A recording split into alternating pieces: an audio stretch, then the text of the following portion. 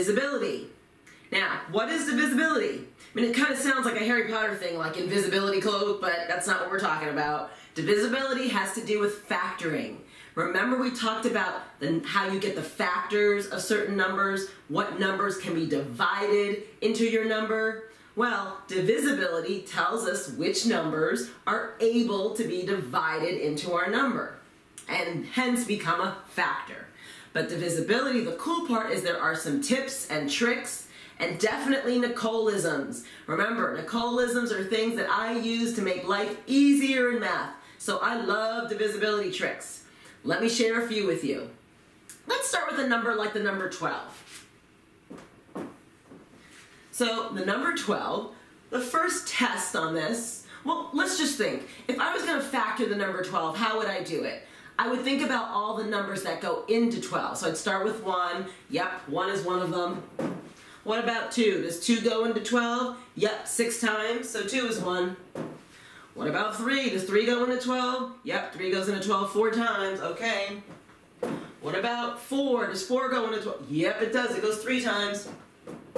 Mm, 5? Nope. What about 6? Yep, 6 goes in 2 times. And we're up to 12. So I had to do a lot of thinking. What if I had some quick little tests that I could run on my number 12 to, to know instantly or fairly quickly which numbers it was divisible by. Well, I want to share those tests with you today. So there are a few tests that we can run on our numbers to see if they are divisible by certain specific numbers. That will just help you out when it's time to find factors of numbers. Let's take a look. The last digit test. So we're going to look at the last digit of our number. And if the last digit of our number is even, meaning it ends in 0, 2, 4, 6, or 8, then that number is divisible by 2. Let's try it out on a few numbers. So 12, is 12 an even number? Yes, it is. That means it's divisible by 2. 2 divided into 12 is 6. So any even number is divisible by 2. What about 15? Is that even? No, it's not. So it's not divisible by 2. What about 20?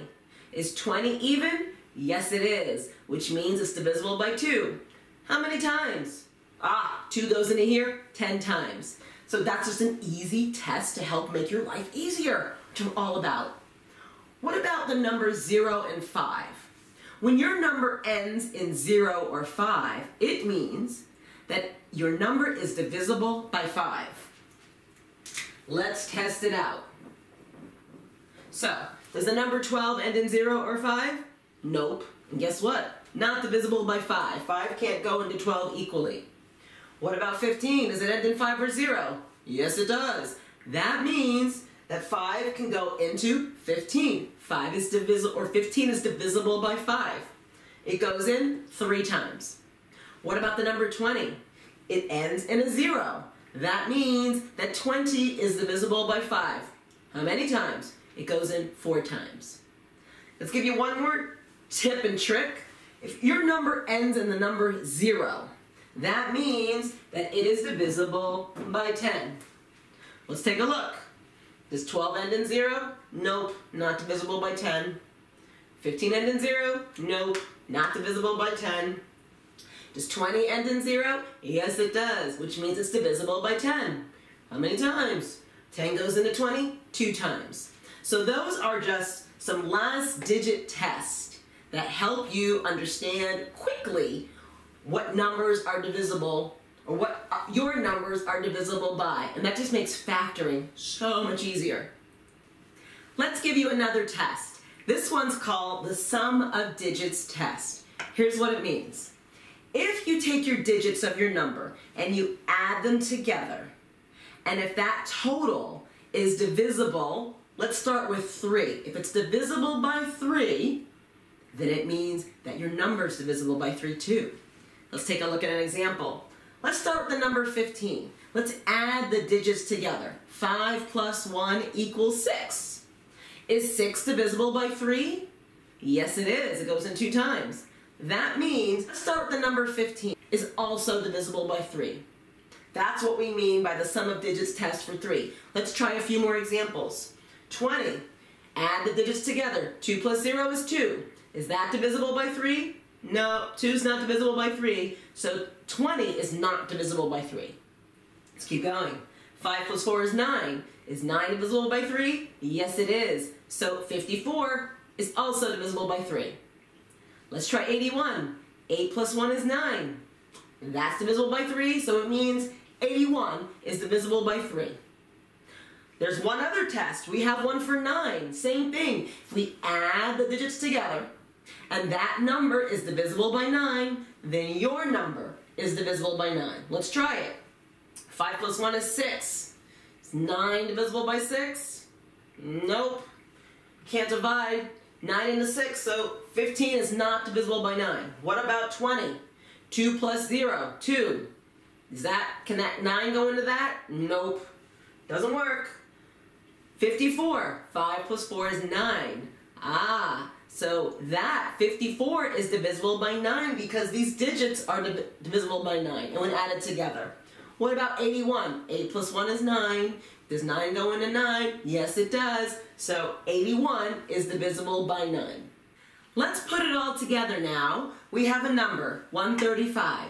Let's perform our divisibility test on the number 135 to see which of these numbers are factors of 135. Here we go. So 135, is 2 a factor? Well, is it even? Nope. So 2 is not a factor of 135. What about 3? We add the digits together. 3 plus 1 is 4.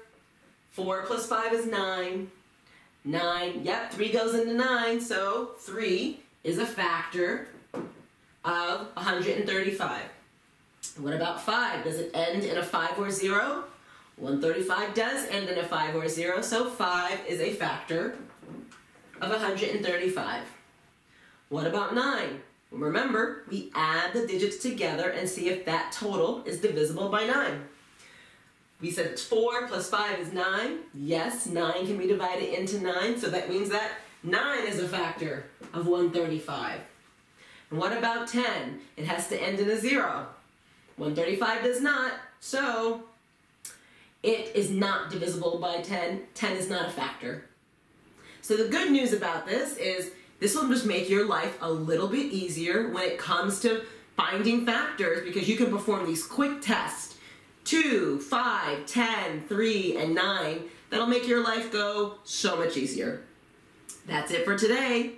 Hope that made sense. I'll talk to you soon. Bye-bye.